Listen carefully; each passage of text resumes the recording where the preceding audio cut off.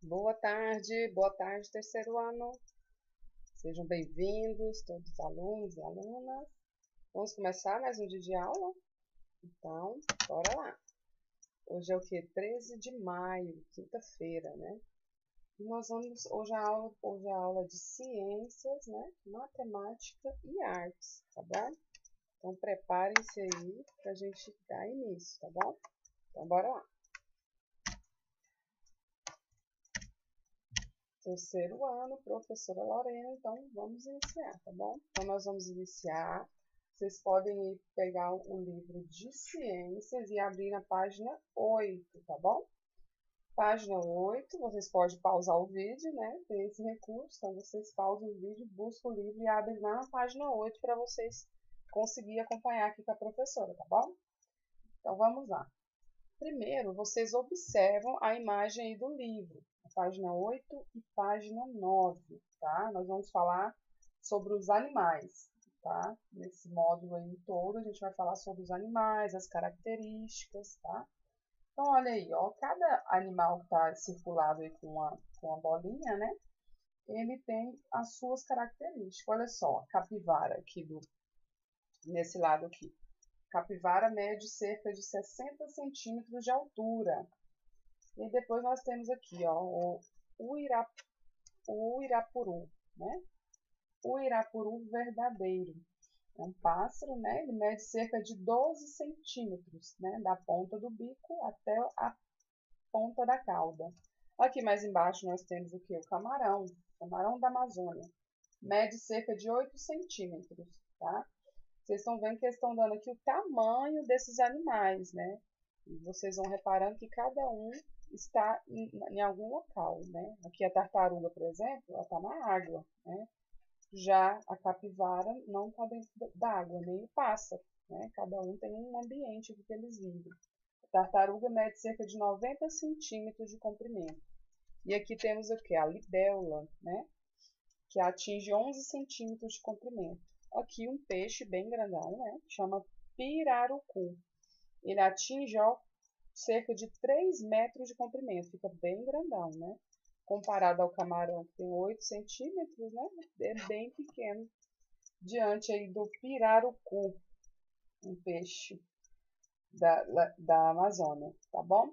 Então, assim, a gente, o que, que a gente percebe nessa imagem, né? O que, que vocês conseguem visualizar? Primeira pergunta aí tá os animais da imagem vive no mesmo ambiente, vocês acham que eles estão vivendo aqui no mesmo ambiente, né? Eles, eles estão aqui nessa, na natureza, né? Mas eles não estão vivendo no mesmo ambiente, sabe por quê? Uns estão aqui, ó, uns são aquáticos, né? Um deles são aquáticos, outros, outros são terrestres, outros estão voando como pássaro, né? Então eles não não vivem aí no mesmo ambiente, né? Alguns vivem na água do rio, né? São os animais aquáticos enquanto os outros vivem na terra, são animais terrestres, tá bom? Então, nós temos aí essa, essa diferença analisando essa imagem, tá? Então, vamos lá. Quanto à classificação, tá? Então, vocês, quanto à classificação, ela é feita quando agrupamos elementos com características semelhantes. Para estudar os animais, os pesquisadores também os classificam em grupos, tá? Então, vocês vão ver aí na página 10, tem essa explicação aí, ó. Organização e classificação, tá? Vamos ler esse textinho aí, ó. Joaquim e Aninha ganharam estantes novas para organizar seus livros. Aninha resolveu separar os livros por assunto colocou em uma prateleira os livros de aventura em outra os de ciência. E a última ela colocou os dicionários. Joaquim separou os livros por quantidade de páginas. Em uma prateleira ele colocou os livros mais finos e em outra os médios e por último os mais grossos. Joaquim e Ana usaram características diferentes dos livros para organizar. Então cada um classificou né, de, de, de uma forma diferente. Né? Joaquim preferiu a quantidade de página, né, a grossura do livro, e já a Aninha já classificou ele, os livros por aventura, ciências, né, por assunto, tá? Então, isso é um tipo de classificação. Aí embaixo na página fala, a classificação é feita quando agrupamos elementos com características semelhantes, tá? Então, para estudar os animais, os pesquisadores também classificaram em grupos os animais, tá bom? Então, vamos, vamos ver essas características dos animais, tá? Então, os animais nascem, crescem, lá na página 12 agora, tá?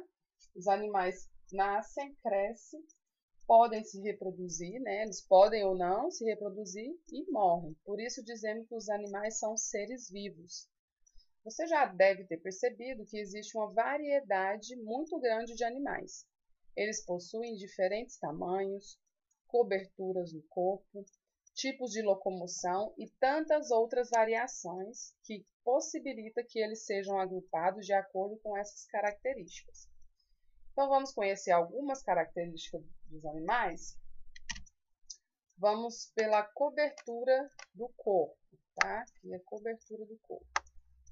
Há animais com pelos, com penas, com escamas ou com carapaça, tá? Vamos ver alguns exemplos aqui.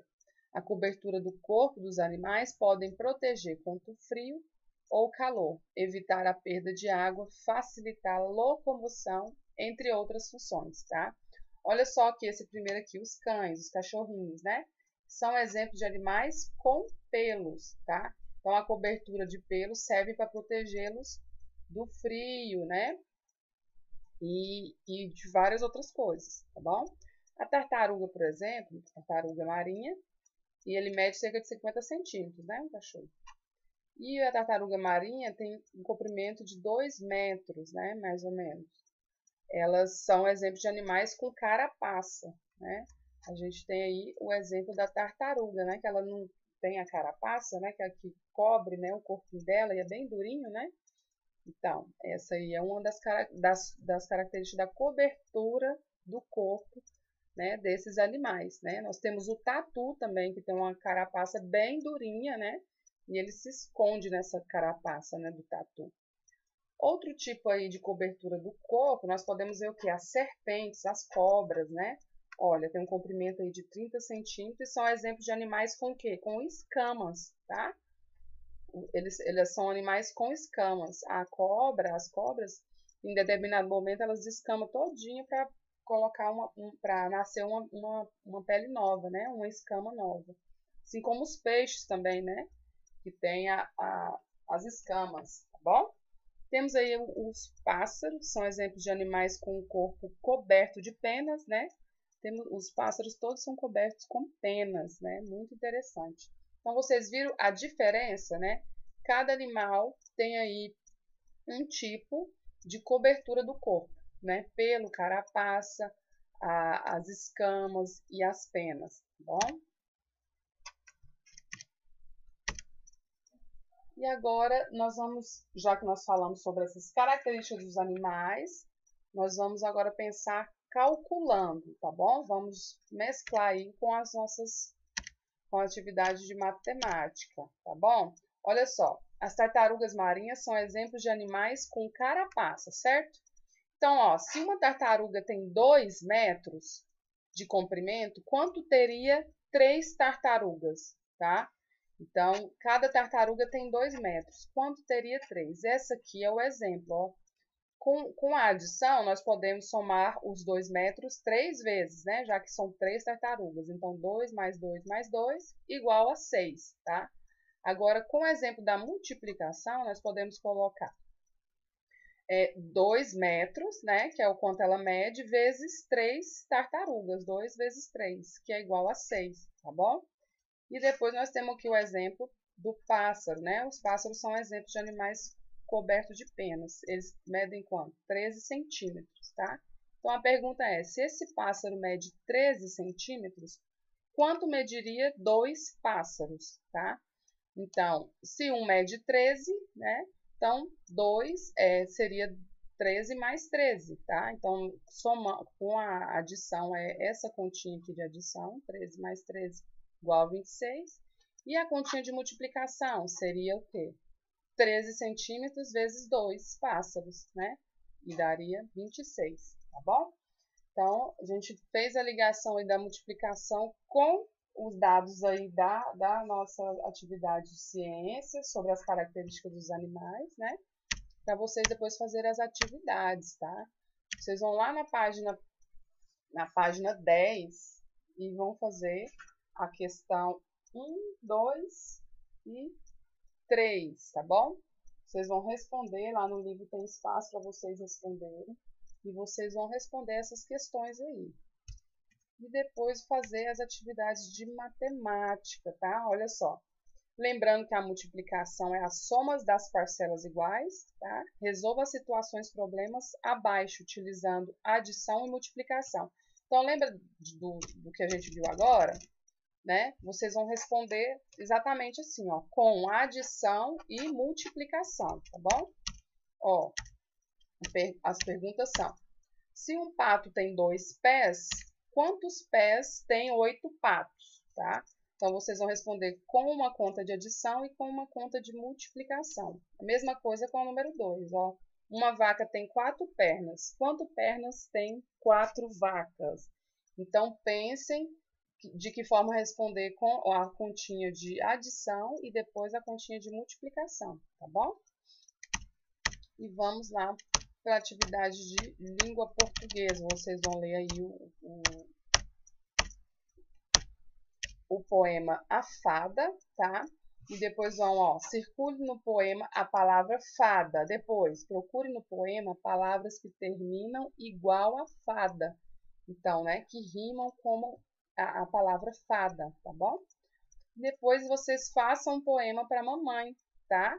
leiam, leiam o poema, se inspirem e façam um poema. Pode ser do tamanho que vocês preferirem, né? E de acordo com o que vocês têm em mente, tá? Então, vocês vão e colocam e façam um poema para mamãe, tá bom? E agora nós vamos é, fazer atividade de quê? De arte, tá? Então, o que que chama? Desenho da mão com volume, tá? Então, Trabalhar volume é isso. Ó. Essa, essa folha aqui, ela é uma folha de papel normal, só que de acordo com, com o desenho que, que nós fizemos aqui da mão, deu a impressão que a mão tá o quê? Tá com volume, né? Que ela tá alta, mas aqui é um papel que tá só com desenhos, tá bom? Ó, vamos simular o volume de desenho através das linhas. Risque sua mão em uma folha de papel A4, ou mesmo no seu caderno de desenho, tá bom? Através de linhas coloridas, simule o volume de sua mão, com linhas curvas em contraste com o fundo de listras retas, tá? Deixe sua obra bem colorida para obter um belo efeito. Então, vocês entenderam? Vocês põem a mão no papel e riscam né, a sua mão, façam o desenho da sua mão. Nesse desenho da mão, vocês vão fazer linha, linhas curvas, estão vendo? Aqui, ó, que elas, essas linhas estão curvas, ó. Aqui, vou pegar uma canetinha e mostrar para vocês, ó. Aqui, ó, tá vendo? Elas estão curvas. Tá, tá? Elas estão curvas, ó. Então, vocês vão fazer aqui, ó, todo, todo o desenho curvado. Ixi, meu tá bem... Mas vocês vão fazer curvado esse desenho aqui da mão, tá? E aí, ao, ao redor, aqui toda a mão, vocês vão fazer curvar, em, em forma de curvas, tá? Tá vendo aqui, ó, que eles estão, ó, tá vendo? E ao redor da mão, vocês vão fazer linha reta, que no final vai dar esse efeito, esse efeito de que a mão tá, é, tá sobressaindo, tem volume, tá bom? Então, esse aí é o exercício para vocês, tá? Então, faça as atividades aí com capricho, com atenção, tá? E até a próxima aula. Beijos, fiquem com Deus.